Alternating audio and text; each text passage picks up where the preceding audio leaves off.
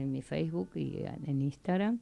Em, y ahora estamos con otra obra de una, un director y autor que conocí hace muy poco en un estreno y me dijo ya para esa fecha, mira que para agosto septiembre voy a estar estrenando eh, algo y me gustaría ir a tu prueba. Bueno, él no puede estar, pero está presente desde algún lugar, ¿no?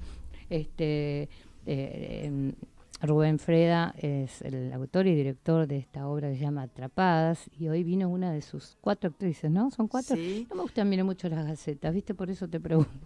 Son cuatro actrices que recordame los nombres y después somos presentate. cuatro actrices, pero en realidad somos dos elencos, o sea, la ah. obra consta de dos actrices. Pero bueno, Y vamos alternando y tenemos una función, están eh, Fabiana Pele eh, y Sandra Humú y estamos eh, Rosa...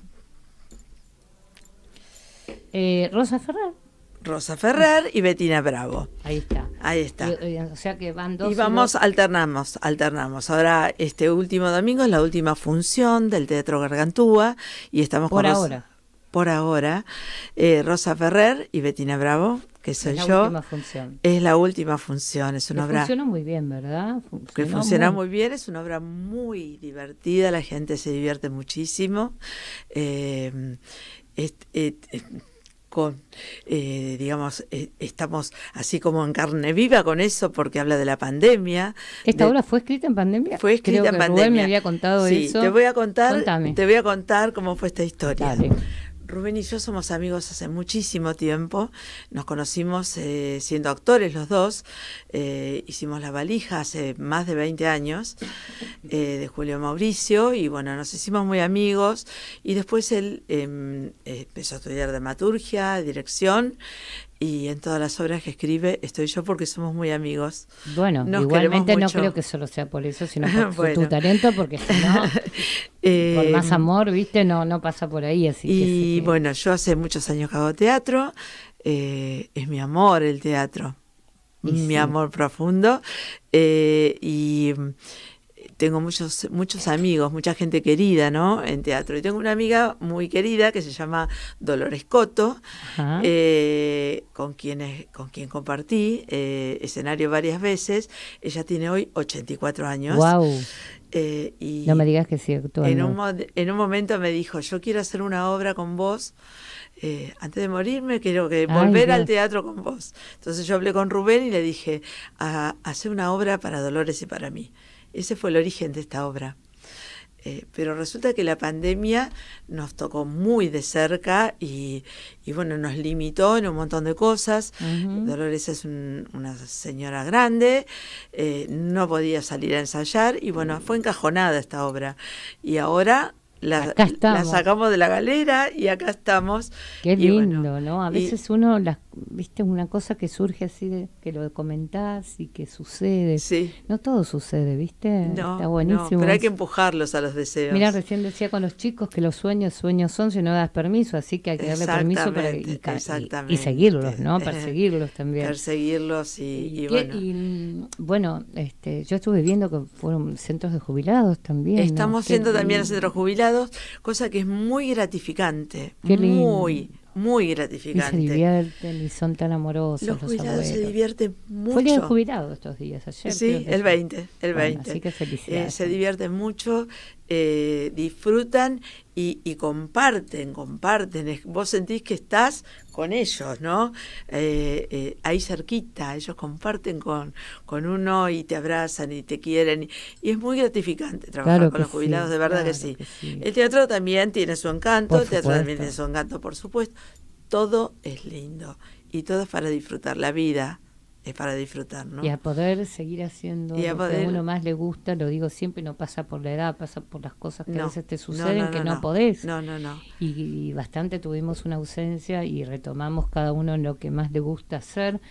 y por eso digo, seguir haciendo lo que más nos, nos gusta a todos. Eso es la no vida. es de todos. Y eso no es, la de vida. todos. Eso es la vida. Hay que exprimirlo. La vida hay que disfrutarla, minuto a minuto. Así es. Y todos los Contame días. un poco este, esta tramoya que se arma y con, y con estos disparatados. Eh, este, bueno, son dos personajes. mujeres, son dos mujeres que están muy locas, muy, muy locas. Hay otras también, no yo sola. Están muy locas.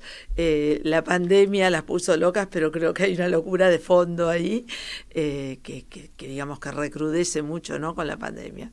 Son dos mujeres solas que están encerradas, cosa que no sucedió eh, eh, a todos. Creo que la pandemia nos pegó fuerte a todos, a los grandes, a los chicos, a, a todo el mundo. Eh, eh, bueno, y estas dos mujeres están encerradas ahí con un tercer personaje que está dentro de una urna, que son cenizas, eh, las cenizas del esposo de una de ellas. Entonces son, en realidad somos tres personajes, porque están las dos Las dos mujeres mujeres. más el señor que está dentro de la urna. Y con todas las... las ¿Y eh, quién es la viuda? ¿Vos o la la viuda? Yo Ah, soy la viuda. ok.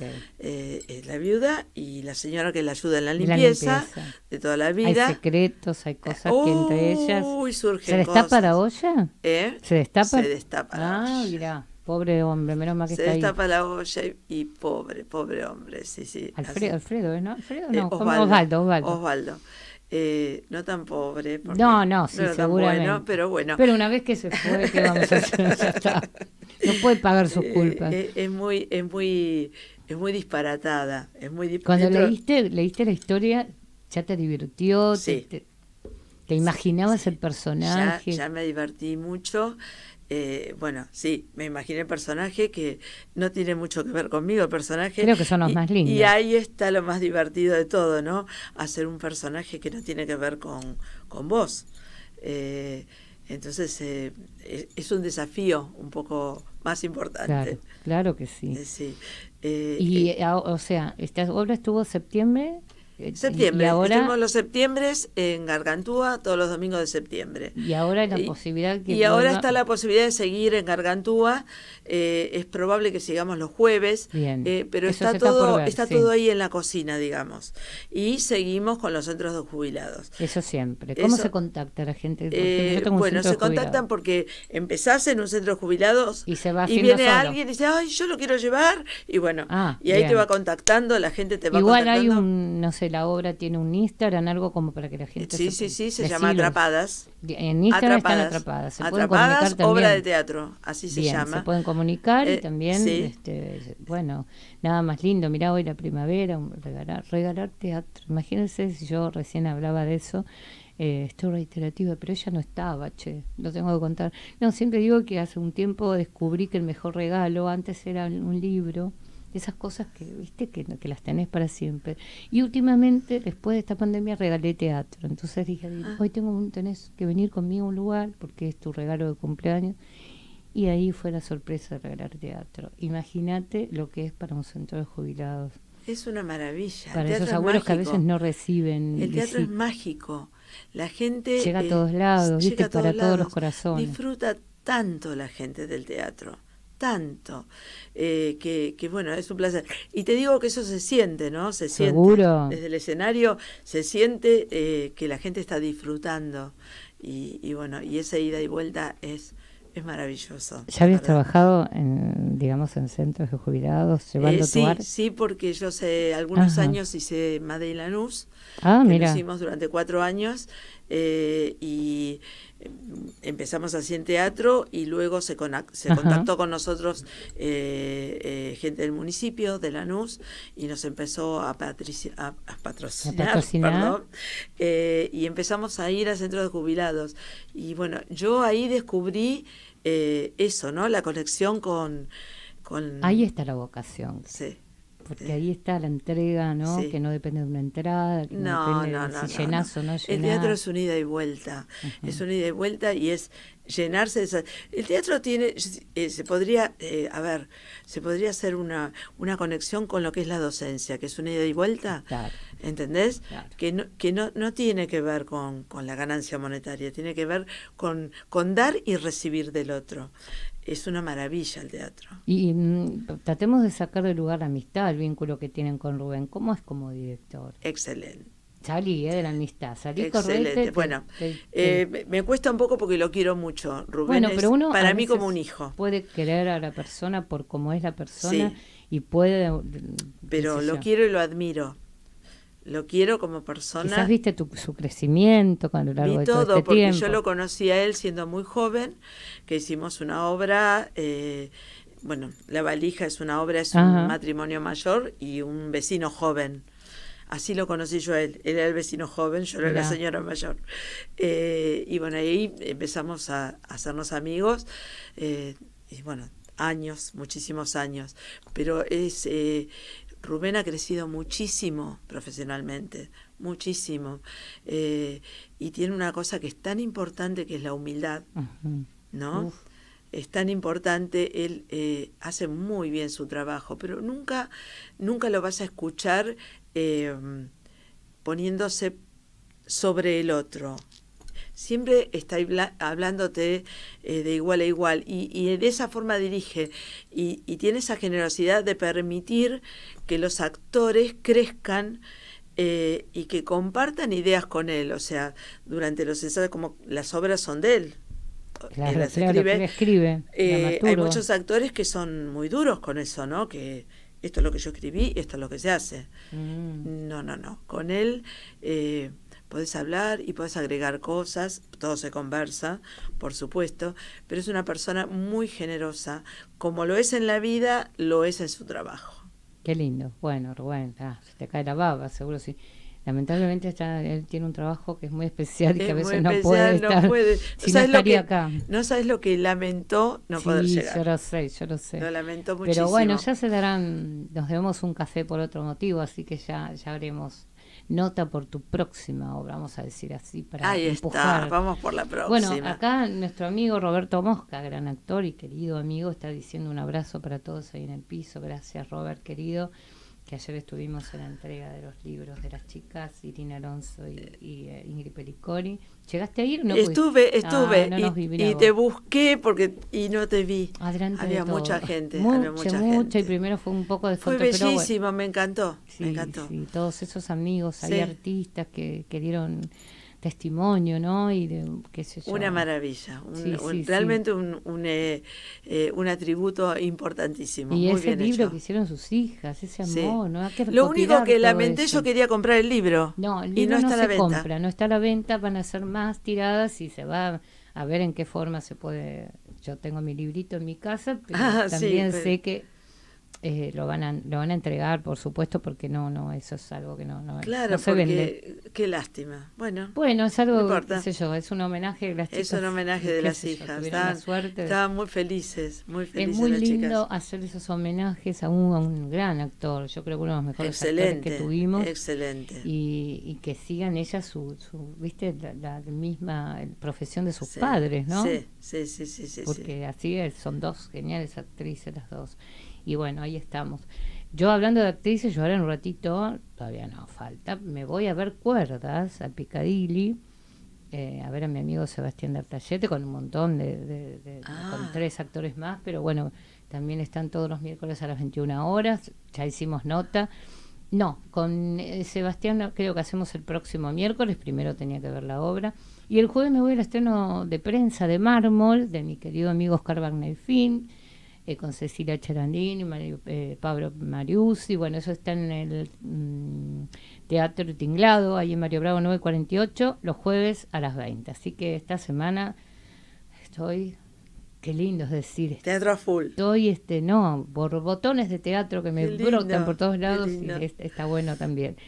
Em, decime que, que mm, vos en la pandemia paraste con todo, ¿no? Digamos, vos estabas haciendo otra obra, te convocó justo Rubén para hacer esta obra y eh, estabas parada. nosotros estábamos, eh, habíamos empezado a ensayar esta ah, obra ensayando. y se paró porque realmente no, se no nos podíamos encontrar. Eh, bueno, Dolores vivía, vive en Avellaneda, era absolutamente imposible. ¿Cómo fue la primera vez que pisaron el escenario? Pero no para La primera vez, ¿cómo? Para actuar. La primera vez que subieron al escenario después de este tiempo que uno no sabía si tenía. Fue muy fuerte, fue muy fuerte porque yo creo que la pandemia nos cambió mucho a todos. Claro. Eh, este, eh, yo soy una persona así con mucha fuerza, que voy siempre para adelante y qué sé yo. Sin embargo, con la pandemia hubo como, como un frenito, no sé cómo decirte, ¿no? Eh, y fue muy fuerte volver al escenario después de la pandemia. Pero bueno, estoy con, con Rubén, al que quiero mucho, con tres actrices que son maravillosas, la rompen, maravillosas. Tal es así que ahí Rubén ya está diciendo que va a ser una obra para las cuatro. Juntas. Las cuatro sin juntas. tener que separar. Las cuatro juntas. Tendría que verlo actora Rubén también, ¿eh? a ver si eh, lo, estoy tratando de convencer hace tiempo. Quiero que quiero que vuelva, quiero que vuelva al teatro. Te cuento que esto de que fuéramos dos elencos fue una idea mía, porque eh, con, con, esto de la pandemia, que parecía que avanzábamos y teníamos que retroceder, y que avanzábamos y, y la gente se enfermaba y no podía. Entonces yo le dije, Rubén, vos tenés que armar dos elencos. Cosa de que si alguien tiene algún problema, vos salís al ruedo con el otro elenco. O podemos intercambiar las actrices. Y no, estaba muy convencido al principio, pero lo convencí. Y la verdad que fue una. Ahora está contento con haberlo hecho. Bueno, hay que escuchar a las actrices también, que uno lo quieren, lo admiran. Y aparte tirar propuestas, ¿no? Este, eh, cuando existe esa relación entre director, más allá de la amistad y actor, donde uno trabaja libremente el personaje donde te pusiste enseguida ¿cómo se llama tu personaje? Irene. Irene, la viuda. Y está muy loca, muy loca. ¿eh? Pero está loca. porque es loca o está loca porque eh, todo lo que se enteró. Eh, que está loca, loca. Ah, lo mató el pobre. Está loca y. no, no lo mató. Pero no, no digas, yo digo porque no la vi. Está loca, pero creo que la pandemia la volvió más loca. ¿no? Esto, esta obra hace mucho hincapié en eso, ¿no? En lo que la pandemia hizo con la gente. Uf. Bueno, anda Por eso, por eso, eh, o sea, la gente se siente identificada. Puede decir, ah, esto me pasó. De alguna forma a todos nos pasa. No es que estemos todos locos, pero mm, una vueltita. Hay una, sí, sí, sí. Bueno, ojalá que todos hayamos vuelto a la normalidad de la vueltita. Dentro de todo volvimos, pero volvimos, pero creo que eh, que la, no nos vamos a olvidar de lo que pasó porque no, nos vamos la a vida y, este tipo de cosas van marcando mucho a la gente no y por más que se vuelva algo algo quedó. Bueno, seremos un, país de locos, un mundo de locos, y no está nada mal cuando todos estamos en la misma locura. No, no, no, no, Bueno, entonces decime, teatro, día, hora. Bueno, Teatro Gargantúa, domingo 25, última función, hasta ahora, Jorge Newbery, 3563 20, 30 horas. Eh, podés sacar las entradas por, por alternativa. por, eh, alternativa. ¿Por teatro también? ¿Eh? ¿Por el teatro no? Ah, no, por, alternativa, Pero existen dos opciones. Se puede sacar la entrada y la pagas con tarjeta o reservas la entrada por alternativa y la, pagas en ventanilla.